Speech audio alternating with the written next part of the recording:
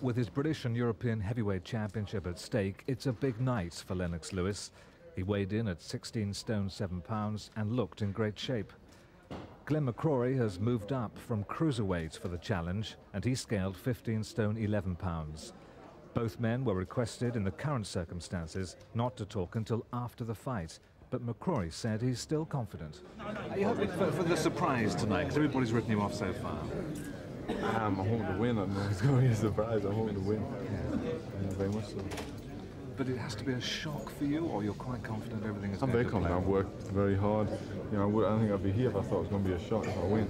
You know, I'm here. I've worked very hard. I'm in there going to give it everything.